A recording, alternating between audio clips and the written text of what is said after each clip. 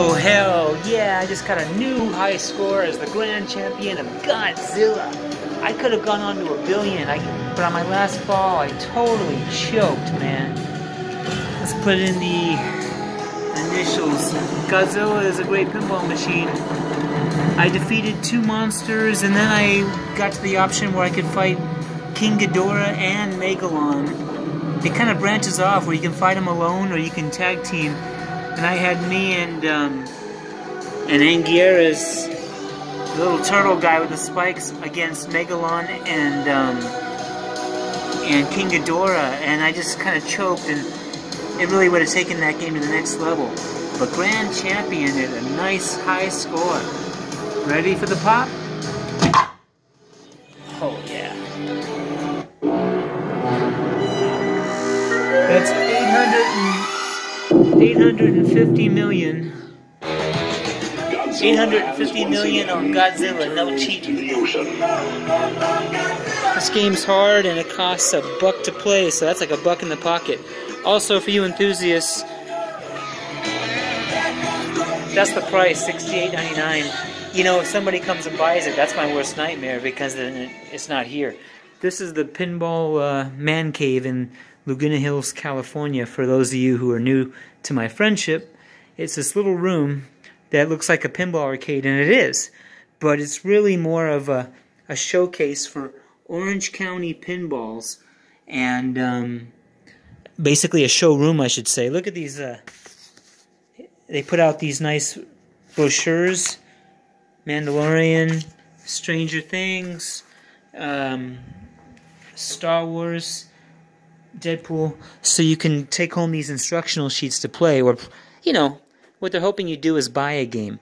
Um, as long as I'm still recording, we've got the Beatles. I like the Beatles. Someone left a credit in here. I'll play it. Indiana Jones, it's okay. Um, Big Buck Hunter. That Indiana Jones is not the classic from the 90s, unfortunately. Mandalorian. Elvira's House of Horrors. Empty up! I'm gonna need some coin. Stranger Things has made a return here.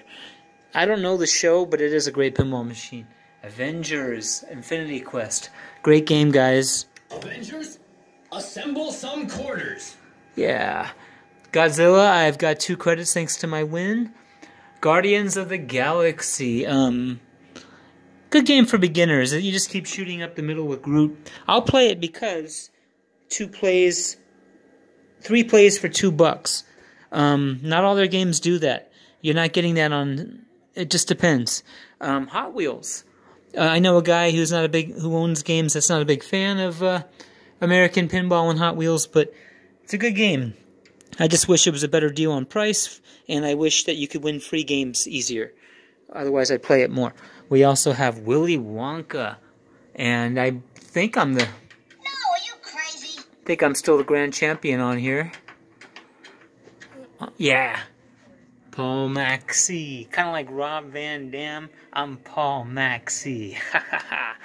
um, Oktoberfest. Um, interesting game for sure. And um, what can I say? It says it has a magna save with an extra button. But I don't know. I didn't find that. Well, I think it's a good game. I just need to know it more. And then we have a little portable um, uh, you know what these are, multi-cades.